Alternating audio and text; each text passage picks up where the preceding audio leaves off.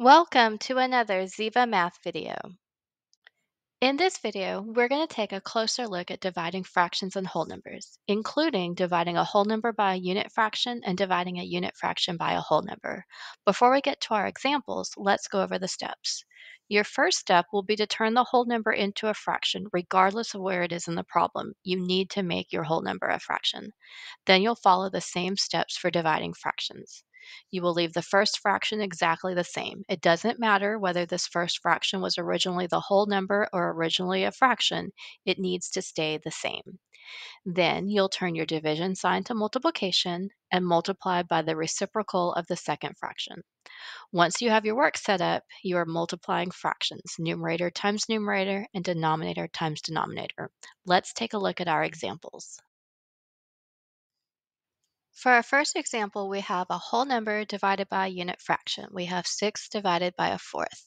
And your first step is going to be with the 6, the whole number, you have to turn it into a fraction. And to turn a whole number into a fraction, we put it over 1. Then our division steps. That first fraction, whether it was a fraction or a whole number that we turned into a fraction, that first number stays exactly the same.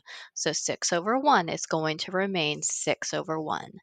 Then our division sign. Our division sign, we're turning it into multiplication sign. And we're multiplying by the reciprocal of the second fraction. So the reciprocal of 1 fourth is 4 over 1. Our denominator becomes the numerator, and the numerator becomes the denominator. Now that we have our problem set up, we're multiplying fractions. So we have numerator times numerator, 6 times 4. 6 times 4 is 24.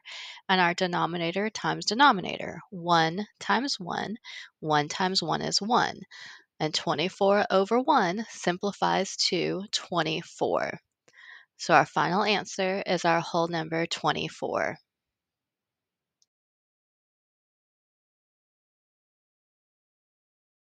Our second example is a unit fraction divided by a whole number, so 1 fourth divided by 3.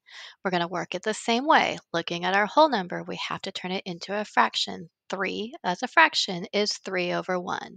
Then we're going to work through our division steps. So this first number, 1 fourth, stays exactly the same.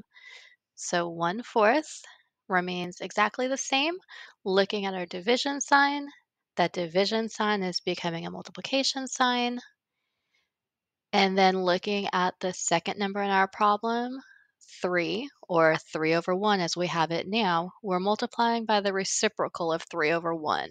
So the reciprocal of 3, 3 over 1, is 1 third. Our denominator becomes the numerator, the numerator becomes the denominator. Then we're simply multiplying fractions. Numerator times numerator. So 1 times 1. 1 times 1 is 1.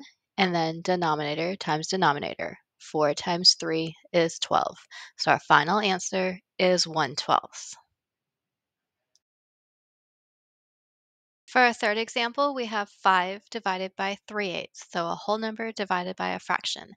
We're going to start with the whole number. We have to make that whole number into a fraction, so we're going to put the 5 over 1 to turn it into a fraction. Then with our division steps, this first number, 5 over 1, is going to stay exactly the way it is, 5 over 1. Then we're going to look at the division sign. That division sign we are changing. We're changing the division sign to the multiplication sign.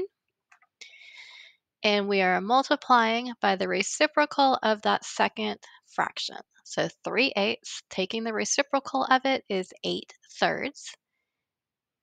And once we have our problem set up, we're multiplying fractions.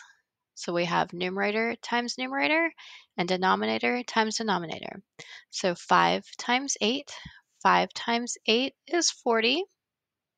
And then our denominator times denominator, 1 times 3 is 3.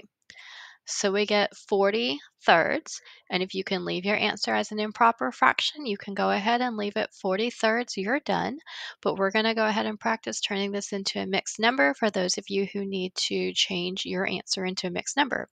Your numerator goes on the inside, your denominator goes on the outside because we're going to divide our numerator by the denominator. So 4 divided by 3 is 1. 1 times 3 is 3. We're going to subtract. We get 1. 4 minus 3 is 1. We're bringing the 0 down. Now we have 10 divided by 3. 10 divided by 3 is 3. 3 times 3 is 9, and you are subtracting. 10 minus 9 is 1.